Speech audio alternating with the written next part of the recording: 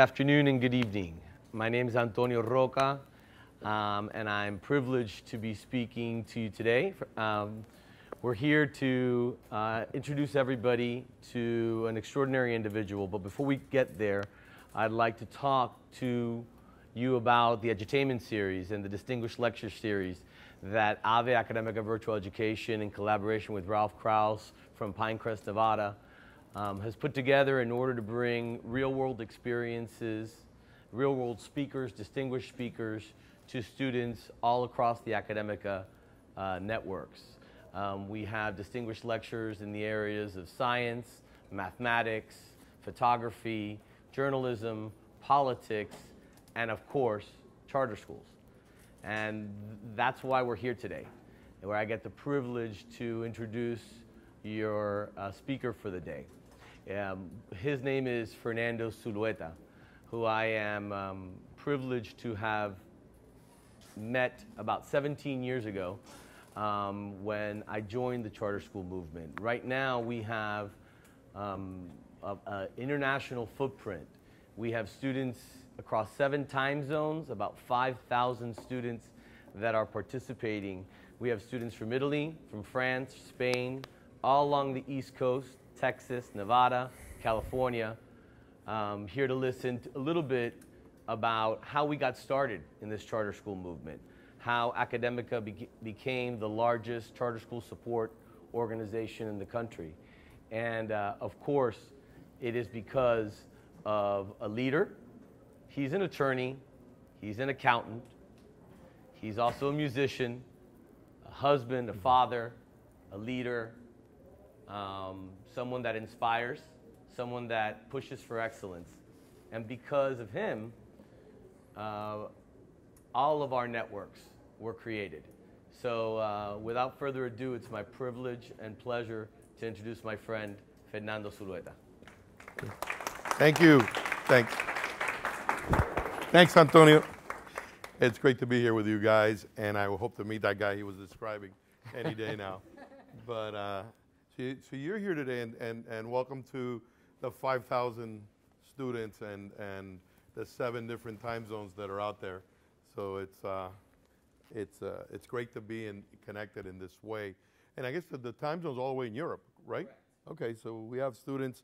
Well, I think the only one we were not able to get in was Hawaii. Believe it or not, we have a, high, uh, a school in Hawaii, and you should all go visit. So we could do like a field trip. It's a, it's a bit of a bus ride, but you're going to have a great time when you get there. It'll be a few weeks to get there, and um, I think you'll love it. And but that's I think the, the Hawaii school open. It's called Kama, Kamalani Academy, so it's, or something like that. It has an actual Hawaiian name, and it's it's cool. It's it, I've seen. I haven't been there yet, but I would love to see it because beautiful pictures and uh, you can go surfing. So it has a lot of benefits. The uh, so as Antonio was saying, we began this journey this charter school journey here in Florida about 20 years ago. So it was before any of you were born, right? Because what grade levels are you all in here? Seniors. Seniors, seniors. So only a few of you are over 20 years old, right? I'm just, that was a bad joke. The, uh, the, so none of you were around, you know, like uh, when, when the first charter school was started. In fact, when I started, the first charter school, which was called Somerset Academy, which you all love, right? Because over here Mater, and you don't. And I, and I fully understand. There's a nice rivalry that goes on between the schools that we work with, and that was part of. That's intentional. That was because, you know, we were trying to build a different system and a and a cool one at that, but with but including, uh, it was all based on a fundamental concept, which is that the existing traditional or the district public school system that we're that many of you may have gone to schools in before you joined Mater Academy. Um, that had there were a lot of people going back as far as 30 and even 40 years ago that had serious questions about how well that system was developing.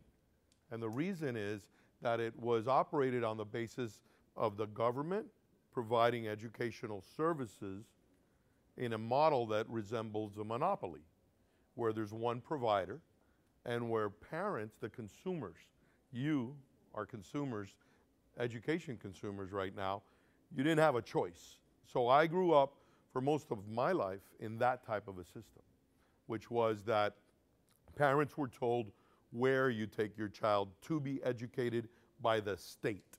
And that, believe it or not, you know, I, I came to the United States when I was two years old as an immigrant with my parents. I don't remember it, but they brought me here. And my mom, when I was little, used to always tell me, I used to ask her, well, why did you leave Cuba? It was, you know, it was a beautiful place and it had big, big mangoes and avocados on the trees and everything was, was I don't know if you have Cuban, any of you have Cuban parents or grandparents, but everything was bigger and better there when, when they lived there. And um, so I said, if it's such a wonderful place, why'd you leave? One of the main reasons was, she said, you know, they passed a law while I was, while we were there, when the, when the communist government took over, they passed a law taking away the rights of parents to decide how and where to educate their children. So we came to the United States. And guess what? When they got here, they found out that the government told you where and how to educate your children, which was very ironic, with an exception. They don't what they didn't have in Cuba is that here, at least in the United States, you could still buy a private education. And that was available to a lot of people, right?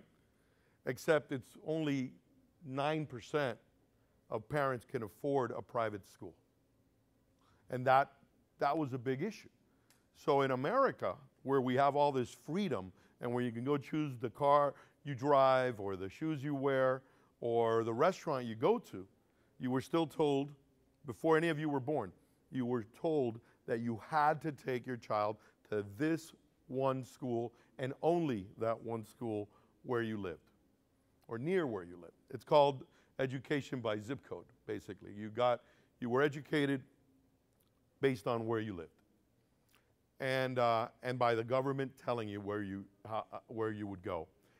And then beyond that, so you only had one provider, one company. It was a governmental company, and that was the only one that was giving an education to, to you, meaning to your parents and to, uh, and, and to those who went to the district or the traditional public schools back then. And people were starting to wonder about the wisdom of that. And for example, when I went to college, I learned because I studied business and I studied economics. And you, some of you are in civics classes right now, correct? Or what class are you in currently? American government. Okay. This is a topic you should cover anyway in it. But I think we can all agree that there's a fundamental understanding in economics that, that monopolies are not a good thing, right? We have laws against people having monopolies. People are worried right now, for example, about Amazon and whether that organization, because it controls more than half of all the retail activity on the internet, whether that's a good thing. Because when that much power and economic control becomes consolidated into one or very few providers, we know from all the studies and also from the reality of living in those environments that you get really bad outcomes for the consumers because you don't have a choice. So it's take it or leave it. And that was the situation with education. So we were not really, you know, people were not happy with that status quo. We had seen the beneficial effects of getting rid of monopolies. And one of the, one of the ones that I lived through, for example, was when, with, with the phone system. And all of you nowadays have these fancy, you know, you have smartphones, cell phones, you know, access to a lot of different products sold by many different companies. All of them are named Apple or Samsung, unfortunately, but, but there are, there's a lot of variety. And um, none of that existed when I was a kid. We had one phone in the house, and it was like wired to the wall, and it was provided by one company. It was called AT&T. Which one did you think? Western Union, good question. I don't know. Uh, you, you guys are the government, so you probably know better than I do what the history of that, what, what predates AT&T. But AT&T was the biggest, was the sole, pretty much the monopoly eh, nationally on delivery of phone service to people's households. You didn't own your own phone. They, they rented it to you. When I was a kid, we had that one phone. It wasn't very good. You paid a lot of money every month just to rent it. If you moved, they, you lost your phone number. It didn't go with you. The, the monopoly, AT&T, controlled it all. And then the government eventually said, we need to break this up. And they did. They created what are called the baby bells. They created Southern Bell South and other companies across seven of them, I think, across the nation to divide up the whole AT&T monopoly, and that in turn allowed for a lot of progress. It eventually led to what we're seeing today with the proliferation of, of cell phone technology and, and many and all of us having many companies that can offer you phone service. Well, something different than that, but but but with the same mindset is what drove the creation of the type of school you go to. And that is the charter school model. That is a model that, that arose when we realized that America's public schools were struggling and parents were not happy that they weren't given a choice where they could educate their children. And the first thing parents did, despite the fact that they could get a free school, is the moment they had enough money to do so, they would go and buy a private school, pay for a private school to get their children to go there because they felt that the system the government was giving them wasn't all that good. And if you if you've thought of you, I imagine you're most of you now have driver's licenses or, or learner's permits. Yeah. Have you been to the DMV before, the Department of Motor Vehicles? And there's all jokes made about it. You know, there's even one where there's a, a sloth doing the paperwork and stuff like that. The concept is nobody's very happy usually. I've been to it and I've stood in line for like an hour and a half and you get to the end and you hand them your paper and they say you're missing one paper. And you're like, what do you mean? And he goes, oh, this is not good enough. You got to bring another one. And you go back home and come back the next day and stand in line again. It's that's sort of the way the system was not working. And the education system was really not working all that well, following a similar model, the monopoly.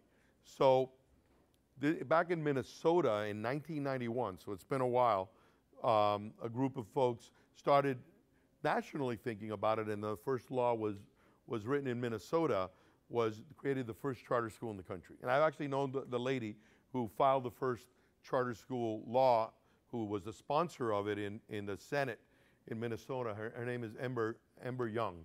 Nice, you know, wonderful lady. She was a state senator. She was the one that filed the first charter school statute back in 1991, and the first charter school started in America in 92. Now, what is a charter school? It was the idea behind it is quite simple that community organizations or municipalities, cities, or groups of parents could come together in a nonprofit, establish a nonprofit organization, and petition the, the local district or the state to give them a charter, which is a contract. And that charter would say you're allowed to operate a public school that's why they're called a charter school, a public charter school. And the government will give you the money, a flat amount, you know, set amount per student for them to go to your charter school. And you, it's your duty then to educate them. We'll pay, you educate. And then I'll prove to us in your petition, in your application, that you're worthy of receiving this contract and that you're going to do a good job. And you're going to be entirely accountable, by the way. You're going to take the state tests, all of you are familiar because you've taken the FSA and you've taken other state type exams that, that, that, that measure how much you're learning, possibly, but somewhat measure what you're learning. And you've all been part of this, this other system, which is you belong to a school that, that requires that is required to account completely and entirely every year for every penny that it receives from the government. So there are auditors, independent auditors, that come in to Mater every year and to Somerset and Pinecrest and Doral. They audit the books, they review their financial statements, they review your bank accounts, and then report back to the government, to the school district, to the state, and to the federal government, and to the public how the money was used. So this has been going on since 1992 in Minnesota, and in 1996 in Florida, Governor Lawton Chiles, who was governor at the time, passed a similar law, a charter school law. So that was the first time you could start a charter in Florida, and I was one of the people because I didn't know any better, just I thought it was a cool idea that did that. And I started a school in Broward County because I was building communities. And I thought, I was building these big communities for families, young families, and they were starter home communities, meaning these were, were young couples many of them who were just starting to have children, would move and buy their first home. And one of the first questions that a young couple that's looking to have children or has young children ask when they show up in your community to buy a house from you, if any of you can guess, is how are the schools? Because that's it's logical. So I had been doing that for a number of years. I was building these very large communities. In fact, the one I was building where we did the first school had 2,000 homes planned. So think about it. It's like a small city. And I could do everything. I, I, I was building a park. We were building a recreation center. We had an area for commercial development, so there could be a shopping center with, you know, a pizza place and, and a movie theater and, and God knows what else. But the only thing we had no control of as a developer, as a community developer at the time, was I had no control over the schools. You know, a private school, like I mentioned earlier, was inaccessible to most people, and especially young families were buying their first home. They could not afford that. So I had no control over the public school that they would likely send their children. But I knew one thing, and it was not a good one. Many of the communities where I was building, when they would ask me, How are the local schools? I had to say, honestly, they're overcrowded, they're not very good, and your child probably won't learn anything if they go to that particular school that's serving this neighborhood. But would you like to buy a house? And that's not a great proposition, right? If you're trying to get someone to buy a house and you're trying to provide a really nice community, because I wanted to, to, build places, you know, with lakes and, and uh, water resources for the kids, like a parks and all these things, but I couldn't control the schools. Um, it was terrible to tell folks, hey, move here, but I have no control over the schools and they're not very good. Fortunately, 96 came around and Florida adopted this charter school law, and I was given an opportunity to do that, and I did. I, I, I by trade, let's say, or by background, I happened to be a lawyer, and I also happened to be an accountant. So it helped. I understood finance, and I understood the law, and I understood real estate because I developed it for, for living. So, and again, that's, this is like when you're planning careers in the future, it's helpful to know those things like the law, business, and, uh, and finance. Those are good things. So think about it if you're thinking of becoming a psychologist. But on the other hand, the, um, what, I, what, I, what I did was looked, researched everything. I prepared, with the help of a consultant, prepared a petition, started the first, one of the first charter schools in Florida. And it was called Somerset because the community I was building was called Somerset at the time. That a year later, I started another school. I used to volunteer as a child at a place called Centro Mater. And my mom was one of the founders of Centro Mater. I don't know if any of you went to Centro Mater nearby. Okay, there you go, which is a beautiful place. Well, my mom was one of the people that helped start it 50 years ago when I was like, actually, maybe 51 years ago, because I was eight years old.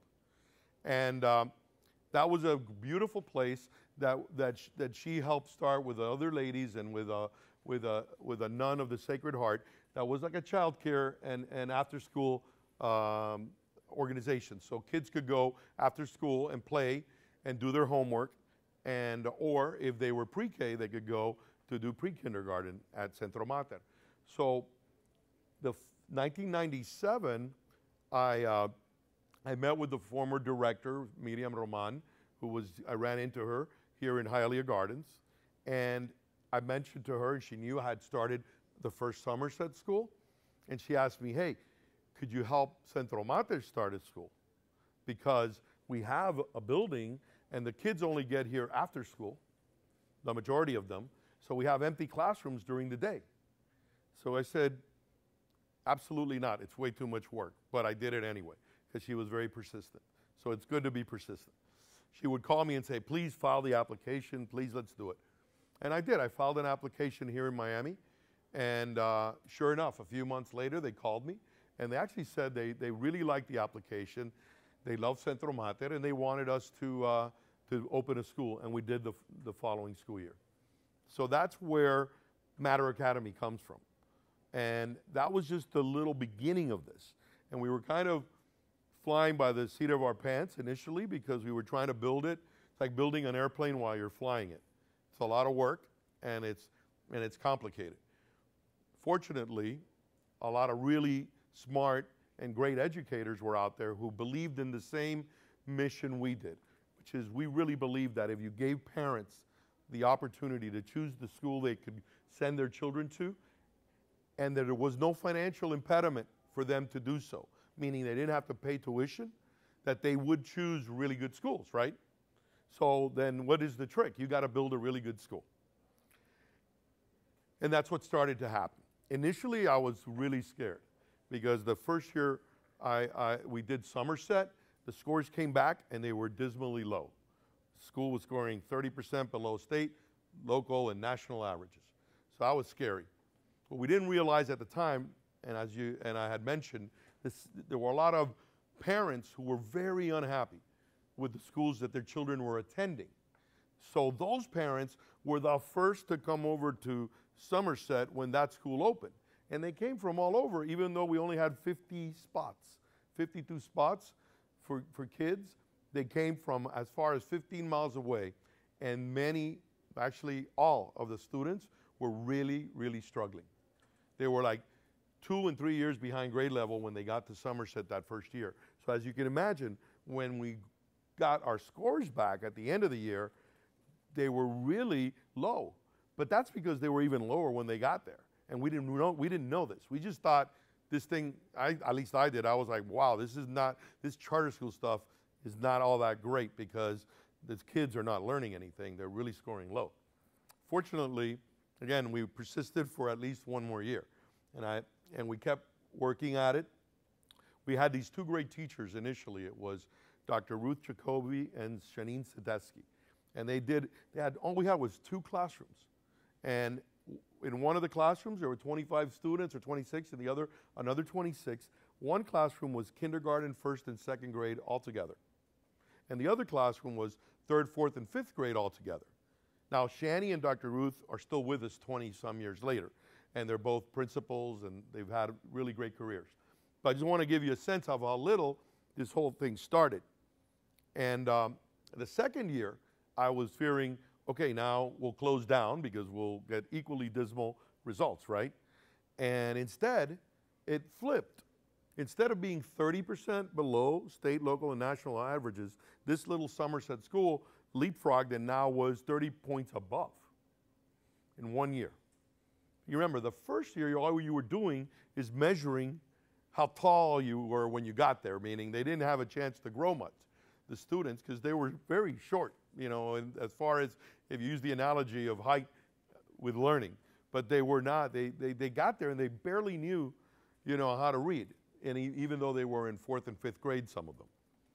A year later, they were ahead of the curve. Now they were almost one year ahead of the, of the grade level they were in. So a third grader was reading at a fourth grade level. And that was great. That was like a life affirming reaction or change. And, and for me, it proved to me at least, or began to prove to me, that we were onto something special. That if we found the right school leaders and the right teachers, and we gave them a lot of freedom so that they could do the things that they had been trained to do when they went to college and studied to become teachers and school leaders, that you could get great outcomes. But you had to give them freedom and you had to support them right, and that's what we did we, we, we did that at Somerset, and then we did it again at Mater. And Mater began with, over at Centro Mater nearby, with three classrooms. And those of you who've been there know there's like three rooms that look out across the lake on the uh, southernmost building, on the building in the back. That's where the first three Mater Academy classrooms were, here in Hialeah Gardens. And same thing happened. It was Miss Gilarte Gill, and I don't know if any of you had Miss Gilarte as a, as a principal when you were in Little Mater. Well, that was 20 years ago. And she was the first principal. She was a principal slash lead teacher that first year. There were only 75 students. And they were in three classrooms, also mixed up. We didn't really, back then we were innovating. Part of what we wanted to do was change the approach, and we did start with a what we called a mixed age model. We really said, look, if you're doing third grade level work and you're in first grade, that's okay. We'll, we'll put you with the third graders for that class. So we allowed a lot of flexibility in the program. Over time, that changed, but nevertheless, the, the teachers that were there, maybe you may remember the, the one of the three was Sheila Gonzalez, who, who is now a principal at another Mater in Coconut Grove. But she was there right from year one. And that's one of the cool things is these, the people that helped start this, who helped start this 20 years ago, are still here. And a few years later, then we started doing something which was a little crazier. We got into, because these were all K5s initially. Then we said, hey, let's do middle school and let's do high school. And then we went, that was completely crazy. And like sometimes you're better off, you know, lucky than smart because high schools are another thing. They're much more complicated. But then we had individuals like Judy Marty, who's here today, who was the founding principal of this school. And Ms. Marty, we didn't even get to hire her. She hired herself. She came and met with us, as you guys know her probably as she is. So she came and interviewed. These are like interview tips. When you go get a job, I guess it worked out for Judy. She just she came and we met and we then she said, I'll come back in two, three days. She came back two, three days later and said, you know what? I've decided I'm going to work with you guys. I'm going to open that school. We're going to do this. We're going to do that. And we were like, great, awesome. I'll begin. I'll start two weeks. I got to give my notice. Sayonara. See you soon. She left. And then Maggie, my wife, who, who works with me, and I looked at each other and say, but we never offered her a job. How did it? and and uh, but that was great, right? She, that just shows you the type of people that have helped build these, these schools that now you, you go to. And in fact, you probably were just about at the time when Judy joined us, was right about when you guys were being born, you know, or thereabouts, because uh, when was it? 2002. When anybody born here in 2002? There you go. There's uh, some in the back. So you, you know, Judy Marty was came in and decided to build this place and was joined shortly thereafter with your, by your current principal, Tiger, Tiger Nunez, to run this place. Um, and it was, again, a, an amazing journey because now you're one of the largest charter schools in the nation, not to mention one of the highest achieving. And, and I don't know. Do you, do you guys know that? I mean, I, I don't, uh, do they tell you that kind of stuff? That you're not the largest because that's just a statistic. Do you guys know that you're one of the best schools in the country? Oh, it's on the poster outside. I figured, I figured somebody would be, you know, uh, uh, reminding you, because over the time we've built, we've built. We now. So what would happen was, this started happening time and again, and we've got to keep reminding you, you're one of the best schools in the country. That's a great thing. You're actually so good that there's statistics out there that say that the city of Hialeah, Hialeah Gardens, Hialeah included, has the lowest achievement gap in the nation right now between like okay let me explain in, in the, most of the country there's this achievement gap you can read about between like what they say are low income families and high income families there's a gap the high income families the kids are doing great they show you know the schools that they go to perform really well and i'll tell you this is one of the most maddening statistics because it really angers me I used to go and there's the U.S. News and World Report, right? They and you've heard of it, Newsweek too. They rank the best high schools in America, right? Well, there's 22,000 high schools. If you look at behind the data, you'll see there are 22,000 high schools in America. And they say, we rank the top 1,000. Okay, so now let me ask you, we'll do like a show and tell or a question or whatever. I'll ask you a question. I'll give you some statistics first because you guys know some stats. About more than half the schools in the country, of those 22,000 schools, more than half of them, more than half the kids are on free and reduced lunch, right? They get free lunch because of the income that they, they report. So that's good. They, they, they don't have to pay for lunch and, and it helps that so their parents don't have to pay for that and take it out of their household budget. So now that we've established half those schools in the country, in Florida, 60% of the schools in Florida have more than half the students, let's say, on free and reduced lunch. So, out of the thousand best high schools in America, how many do you think have more than half the kids on free and reduced lunch? We know 600 of them about it should be if it was if things were all equal, more than half of them of those thousand would be have more than half the kids on free and reduced lunch, right? Yeah, I thought so. I would expect that. When I looked at the data, because initially they didn't report it, it was missing. So I had to go and we had to get scrub the web and get the information, find out what the FRL rate. So, you know, when we first saw it out of the first year I looked at it, that we were able to get the data. You know that out of a thousand of the, the top, top 1,000 schools, only 16 schools, not even 16 percent, only 16 schools had more than half the kids on free and reduced lunch. So your chance, that means 2% of the top schools in the country had more than half the kids on free and reduced. These are public schools, by the way. So how can you say that this is the land of opportunity, the greatest nation on earth, where everybody has equal opportunity and everybody has a chance when the best schools that are public are not accessible to low income people, right? That's, a, that's criminal. The next year, I thought, well, this is going to get better. This can't be, you know. So let's see, there's probably a trend. And this is going to get better. So next year, I'll sit and wait. I'm going to look at these numbers again, and it'll probably be 30 schools. It'll grow. Eventually, every school, you know, half the schools at least should be that way because America's a great place and everybody's equal and everybody has the same opportunities. And if we're doing our jobs as public officials, right, the school board members and the superintendents in our nation, they want to do what's right for our kids. They're going to make sure that the best schools are in every neighborhood and it's not only the, the rich neighborhoods, right? So the next year I looked at it, and you know how many schools there were on the list year two? 14? Mm, eight. So half the schools that were on the list the year before, where more than half the kids were free lunch, disappeared. Now it was not even 1%. 1,000 schools, eight schools. Should have been 10 for 1%, right? Even I can do that math. So, think about it. That's something terribly unfair, unjust happening in our traditional public school system. And we're celebrating rich people's schools, and we're not doing anything to help everyone else, or very little. We're doing a lot. We're spending a lot of money, but we're very, getting very poor results. Now, I was able to do one thing. There was a little growing piece of that list. At the time, it was only like 6% of the schools because charter schools only represent about 6% of the schools out there. Now it's a little more.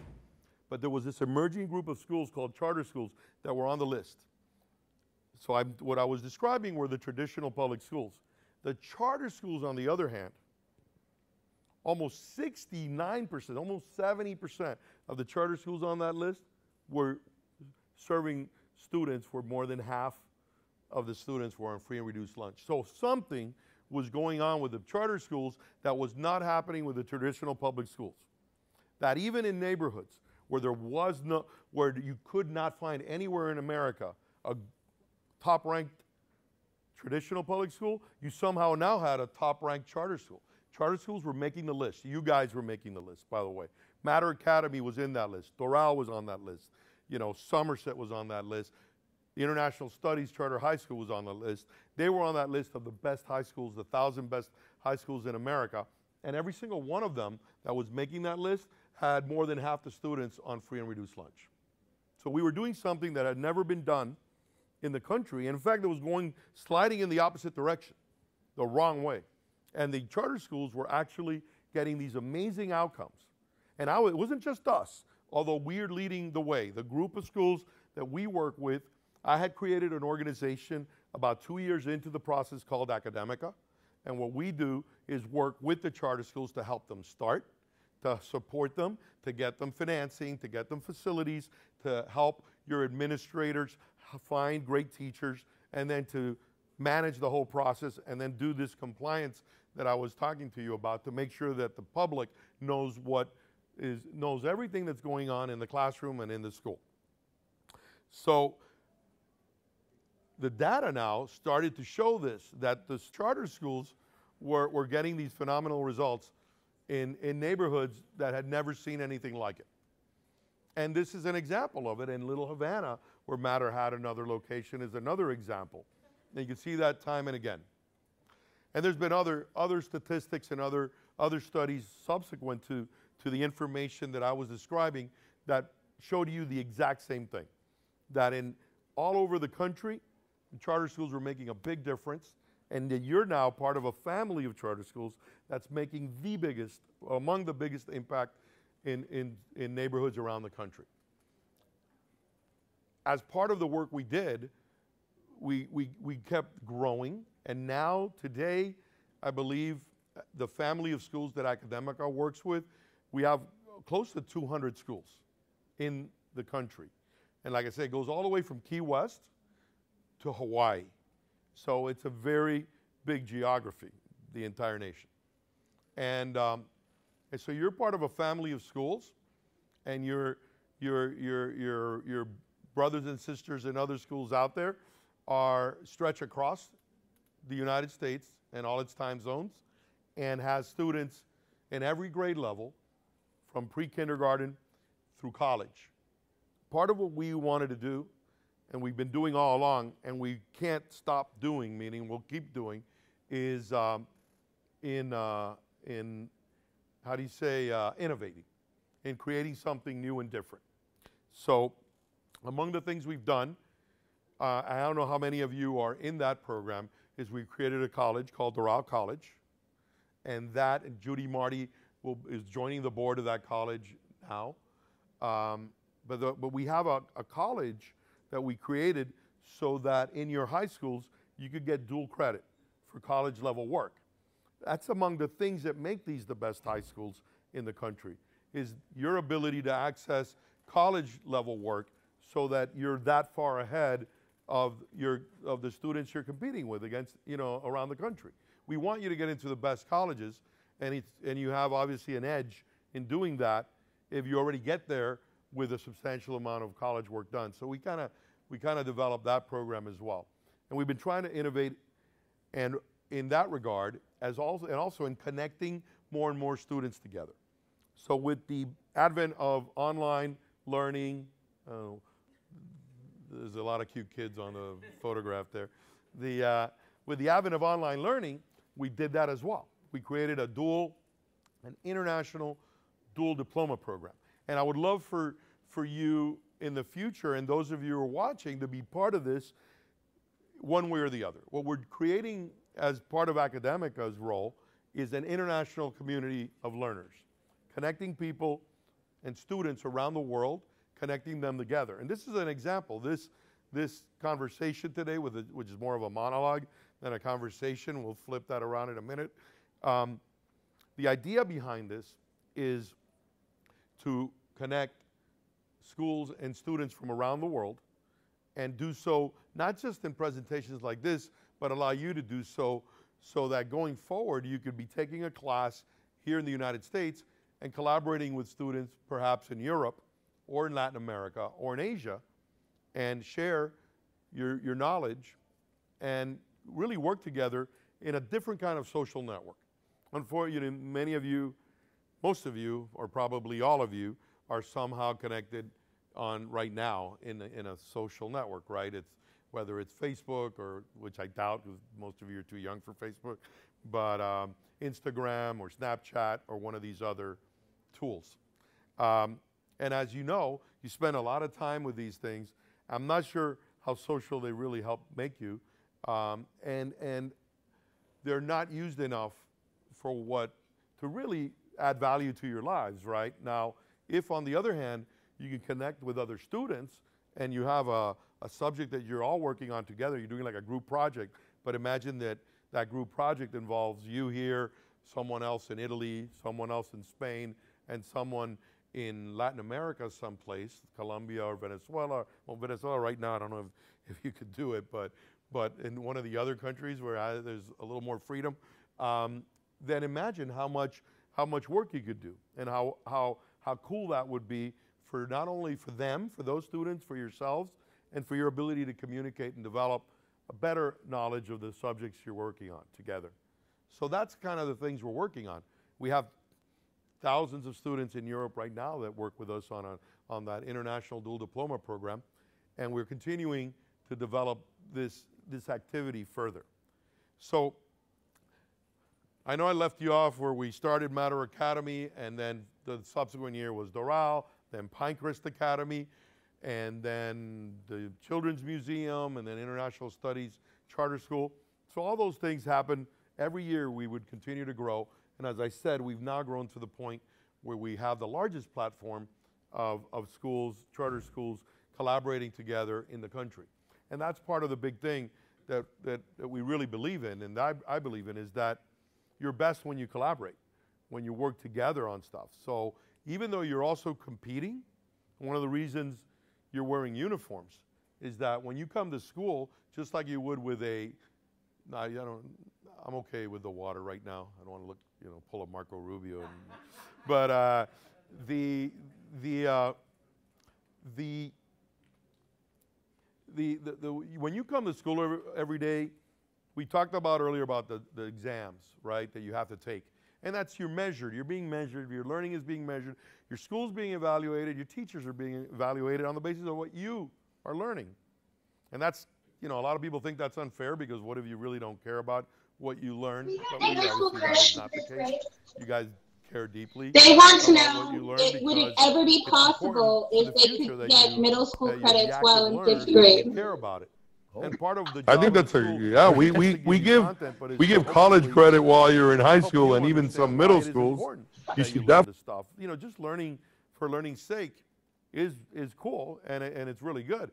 But if we can figure out a way to to make it relevant to you and for you to understand the value of having that knowledge and why it, what it means to you in becoming a more like a happier person in in your life if you have a better understanding of the world around you and how you got here and where you're going well then then that's where you start realizing the value of, of what these folks that, that work for you here in, in Mater Academy and at your schools, what they represent.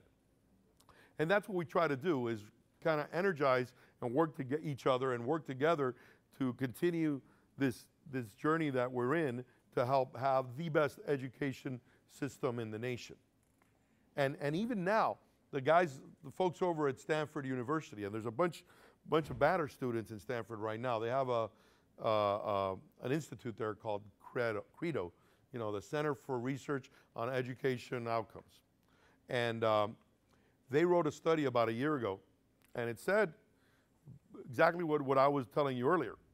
That the students who were going to the schools that we work with, they de- designated those hybrid schools, and I'll explain what hybrid charter schools are. Uh, basically, charter schools working the way we do, the ones that work with Academica, that have this kind of like situation where you collaborate and compete with each other. We have, you know, where the Mater Academies compete with the Dorals and the Pinecrest and, the, and, and Somersets, but they compete, but they also cooperate. So that's what Academica tries to accomplish, is get you guys to compete and cooperate. You come to school wearing uniforms like you would if you went on a field to play another team.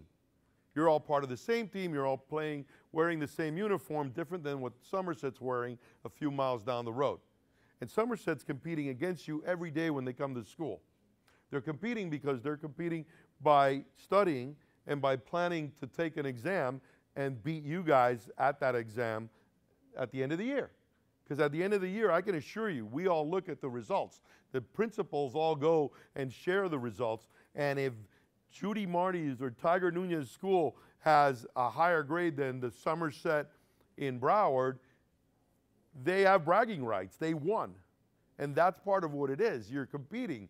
Now, it's friendly competition. You help each other. Then we go, and at the same meeting where we, we, we, we award people and tell them, congratulations for the great job you're doing, um, and they can brag about having won, meaning having a higher grade, then they go back into a new meeting and start sharing what they did to get that higher grade. So why? Because it's cool. That way, we're all playing on the same in the same turf, in the same field. We're sharing our secrets, our playbook, and that's that's different. That's not how most sports teams work, right?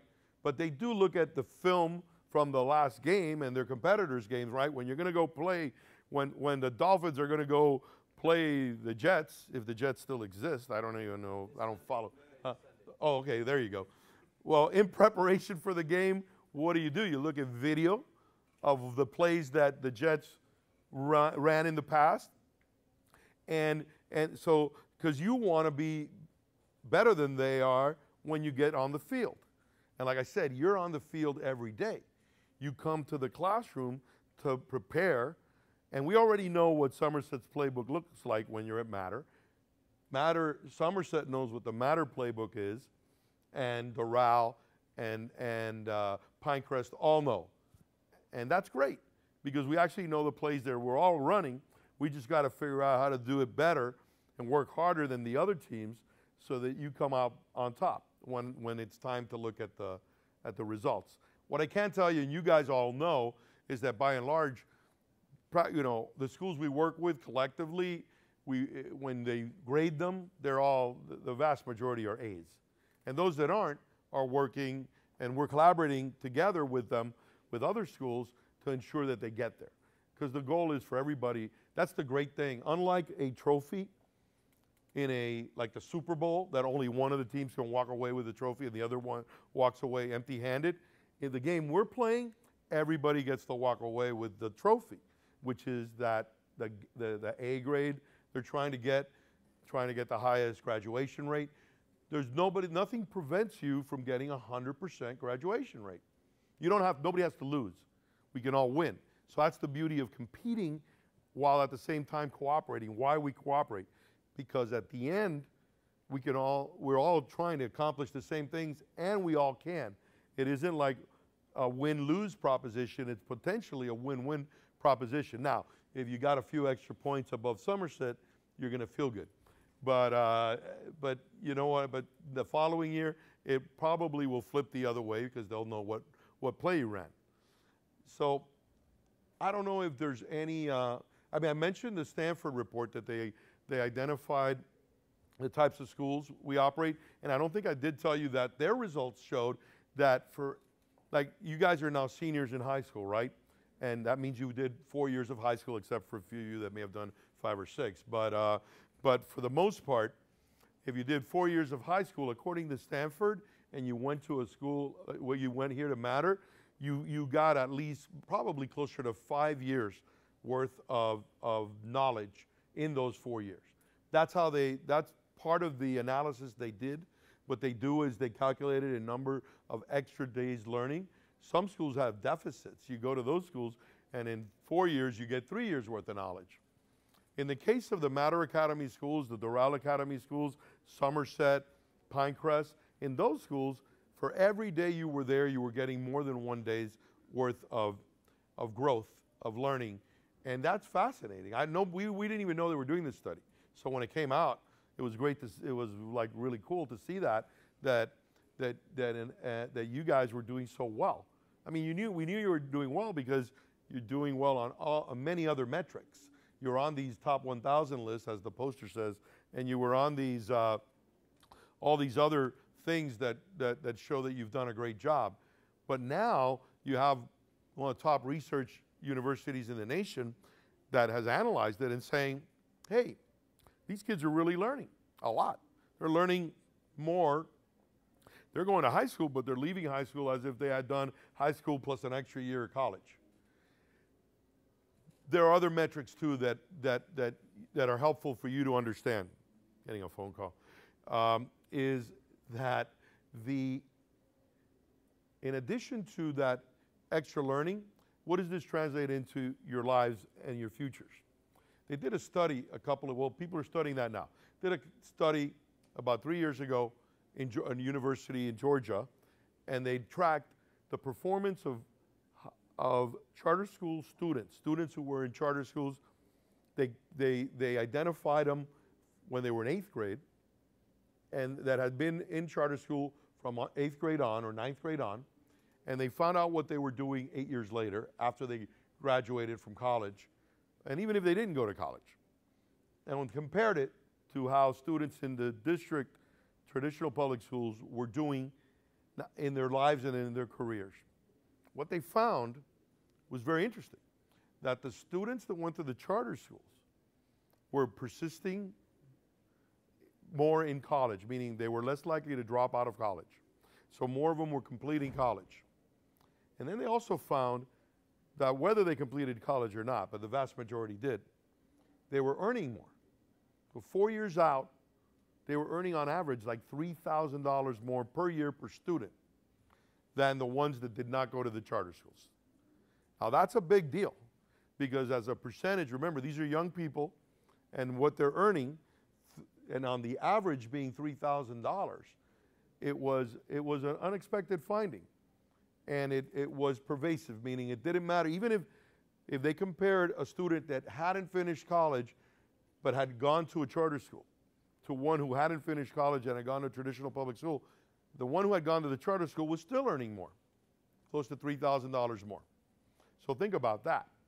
You know, what I think that demonstrates is that I talk to you about the stuff we do measure, right? We can measure your math knowledge, how well you read, and how well you write in these tests. And it, but it's hard to measure things like your, how, how persistent you guys are, how conscientious you are, how hard you're willing to work to do things, you know, to, to uh, you know, have other, to not let other people down, which is a big deal, you know. And that's, by the way, one of the biggest deals is people who are conscientious who don't want to let other people down do better. You don't, it's not just being smarter and doing better in school, it's also caring about how you are when it comes to how dependable you are and the work you do in your lives. But what we're learning now is that some of these more difficult to measure things, we don't have a test for that while you're in school, right? Um, because it would be more of an attitude test, and they would be asking, well, are you are you dependable?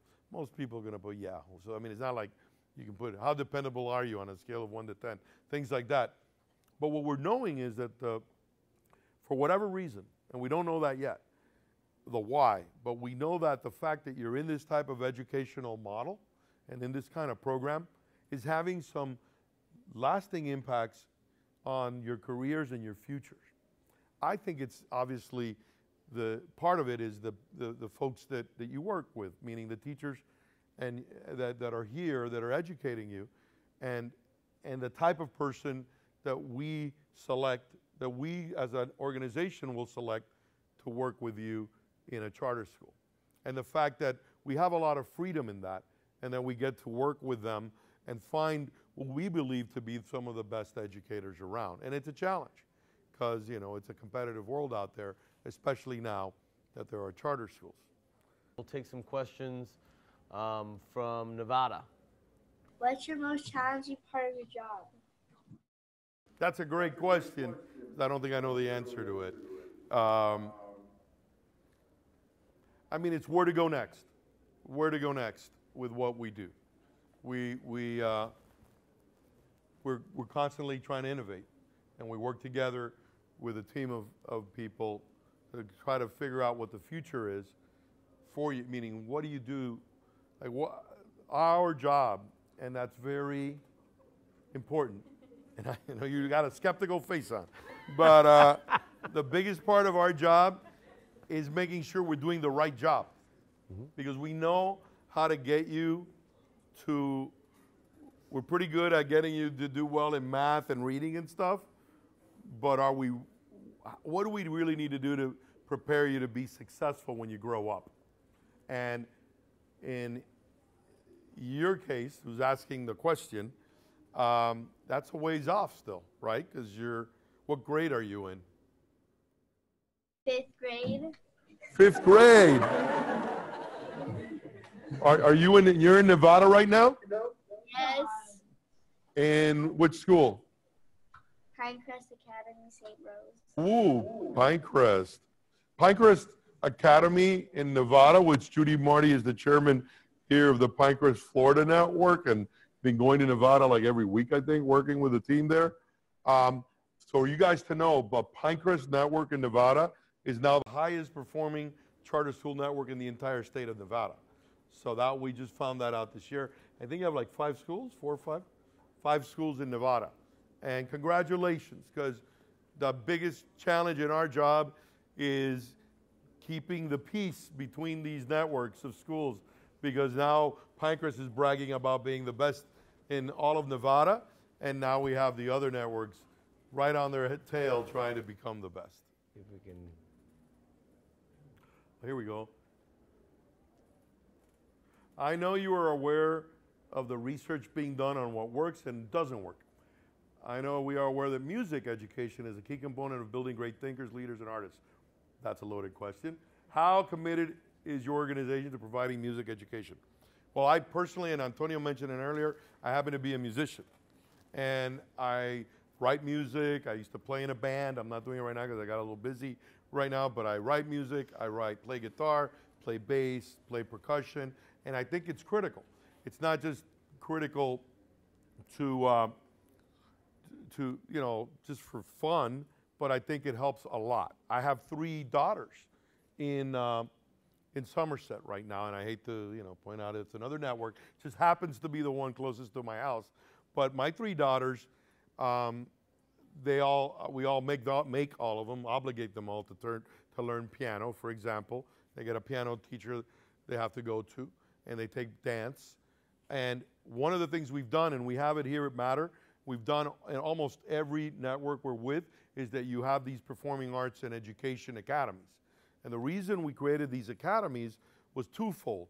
One, to give opportunities to students who wanted to focus their careers or their future in the arts and then make it available to them so you have it here. It's wonderful, and I'm sure you've, over the years, been either you're part of it or you've been to, to the performances, and you do amazing work. In fact, we're working now on interdisciplinary projects like this. So I'll give you an example. We're committed in the sense that in the next couple of weeks, we're going to be launching the first ever Sirius XM uh, radio station run entirely by students, charter school students. The station was given to, you know, granted the license to us by Sirius XM. It's going to be the, the, the first uh, uh, station location is at SLAM, but it's being designed to connect with every single school so that going forward, students from every school that we work with could participate and, and, and be part of that radio programming. Now, radio programming will include talk radio, but also a big chunk of it, probably half of it, will be music. And it'll be student, what we're trying to do is make sure it's student curated and student created music. So that's just one example. We're working on another project right now with, you're familiar with the Telemundo networks? Okay, so it's one of the largest uh, Spanish language television networks, but that's also part of NBC, Comcast, and Universal Pictures. So this last year, to, we started the first Telemundo Academy.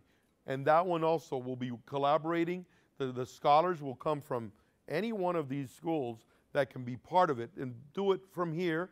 And then once in a while, you go over to the Telemundo headquarters, which are just west of Doral but working on careers in broadcasting, in the arts, and music, and in performance, if you want to act, if you want to uh, perform, all of that will be part of these cohorts of students that are pursuing careers. And obviously, what we're looking to do is work back to ensure that every grade level and every part of the organization that the parents and the students have access to that. Now, some of these programs, like I said, in schools. Now, what can we do within the existing schools? And that is, you know, what we can do is obviously offer our music and arts classes, but what we're trying to make sure is we have these outlets so that if, if you want to develop a talent or a specialty in the arts, that we are giving you the opportunity to do so, so you don't have to wait till you finish high school or till you finish college to pursue that dream, that you can start doing it right from school when you when you get there. Middle school credits fifth grade. They want to know it would it ever be possible if they could get middle school credits while in fifth grade? I think, I that's, think that's a, yeah. We, we, we give we give college credit while you're in high school and even some middle schools. You should definitely, if you're not getting it, somebody should be giving you middle school credit for middle school level work while you're in fifth grade. Absolutely. I just don't know. I, would have to know the details of your program, but I can assure you that that's part, that's the big thing of what we're about. If you can do work at a higher level, you should get the credit for it. So I think uh, that's a great class. I think That's an um, engaged class. Yeah, See? I, I think we want to take a, a couple of questions from our international students. Okay. Perhaps uh, someone from Italy, or France, or Spain. Um, I'm Lucia from Spain. And uh, Oh, Spain. uh, what would you recommend to a foreign student uh, that wants to attend a university? That wants to come to a university in the United States? Well, dual diploma. Yeah, well, we have, and, I, and you're on it. you happen to be in the dual, you're in the dual diploma program, I imagine, correct? And the dual diploma program already gives you that program we were talking about. When she graduates from it, she'll have a U.S. high school diploma in Spain. And that actually helps you. It makes it easier to transfer because your credits is fully accredited. Just like if you came here to Mater Academy, Lucia will be able to have a, um, a diploma that's valid any to uh, pretty much any any college in the United States. So it allows you to do that. One of the good things that we have nowadays is that more and more we're connecting across the world with our schools. So our college, Doral College, is also part of the dual degree program. So Lucia, one of the things you'll be able to do is even if you, for whatever reason, can't make it to the United States to come study during college, college from the United States will be able to go to you like your dual diploma program. So you'll be able to get dual credit for the career you study in Spain. So if you, let's say you want to be a teacher in Spain and you're studying magisterio or teaching. When you graduate, if you go in that kind of a program, just like you're doing in high school now, when you graduate in Spain, you will get two degrees. You will get a European teaching degree and you will get an American teaching degree. And that's really cool because that will allow you to then come to the United States as a teacher. If you get, and you got, you have to go through a, um, a visa process for that, but there are visas for that. And you can come to the United States. There's one that we use every year.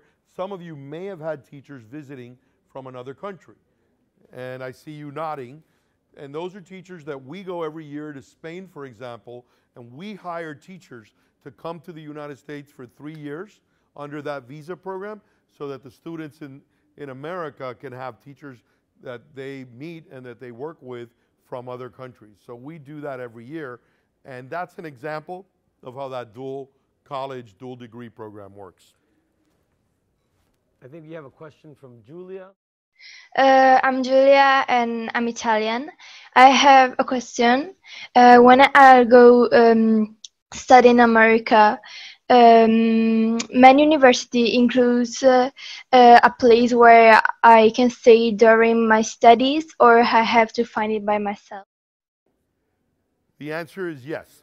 you have, you know, many universities in the United States have what they call student housing. So when you go to the university, housing is available that you can buy or rent while you're attending. That's part of your, your university uh, experience. Um, a lot of students do that initially, and then there's also often additional housing near the school that you can select. Usually, like in your third year, second, third, or fourth year, um, some students will move what they call off campus. They won't be living at the school, but they'll be living very nearby in apartments nearby. So thanks. that's very common in America. Uh, Um, hello, I'm from France, and I have a question. Um, does the dual diploma program can take um, the scholarship um, expenses, like can pay the scholarship expense? If you have high enough grades, you can qualify for certain scholarships. So the dual diploma, because you're, you will have an American high school diploma with all your grades. So the way that works, and maybe I don't know if you have any students like that here this year, but you know when a student comes in in your 11th grade or in your 10th or 12th grade for a year or two. When they graduate from here, they still have a full, what the school does is it recognizes all of the courses and all the grades from the other school that they went to. Well, the dual diploma does that. What we do is we work with schools in Europe, for example, in your case in France, and we give you credit for the work you're doing in France. So on your transcript, you have a transcript from an American private high school, and that high school transcript will contain all your work from both Europe and the United States. So when you present that to a college here in the United States, if that great work is sufficient to merit a scholarship and you have all the qualifications otherwise for it, then you, you can receive it. You can get it. Because it's fully accredited, meaning the, the diploma you will have has the same level of accreditation nationally here as, as this school does, as Mater Academy or any school that is fully accredited. Awesome. And we're going to take, uh, thanks for your question. We're going to take one more question from Mr. Fanghul's class at Somerset SOMI. Oh, great. Very familiar with that school. That's where my three daughters go, And my three sons. and his three sons, in roughly the same grades. Here we are. Here we go. We got a question. Somerset seventh grade civics class would like to know where do you see charter schools in academica 10 years from now? And what are goals that have not accomplished yet? Okay, this is what I can definitely tell you that we're trying, one of the goals. And I think we'll get there less than 10 years from now, and you will all be terribly disappointed who are sitting here today and are seniors or juniors. Because 10 years from now, you would all be graduating, in my opinion. We are working so that all of you would be graduating with four years of college right now. Okay? So I don't know if you're disappointed or happy that you didn't have to take four years of college while you were in high school. But that's one of our goals. And I really think we're going to get there because more and more of us, of you guys, are graduating with two years of college already or a lot of college credit, right? So this is a real goal. This is not, I'm, just, I'm not making this up. This is the kind of thing we're working on. So since we've already gotten that far down the line, the next step, and I would like you to each consider coming back and working with us to help accomplish that goal. Because you won't be able to do it as a student, but perhaps you can do it as a teacher or a professor in our college. And what we're going to do, we're not, we don't think we're going to get there. We're going to get there, and we're going to get there sooner than four years from now. Is that when we're here talking to a group of seniors it, in high school, they will also be seniors in college. And don't worry, you'll still get to go to college if that's what you want to do. The difference will be that when you get there, in many of the colleges, or most of them, you'll be working on a master's degree. You'll be working on a professional degree, like a law degree, or, a or you'll be going right into medical school instead of having to wait another five, four years or three years to get into medical school or law school. That's what we want to do. That's part of our goal. And those are you, of you who are with us in seventh grade or fifth grade classes or younger, that's what we're trying to accomplish. And honestly, if we get there, that'll be a huge accomplishment. But we're going to get there. They're saying, Yeah. you guys are going to, are you guys going to get there? I don't know. I don't know. We need to give them a high school first. well, Fernando, on behalf of hey, thank you, Antonio. everybody, And thank uh, you guys. all of Thank the you academic for being here. worldwide, You guys. thank you very much for all that you've done. And continue to do. Thank you.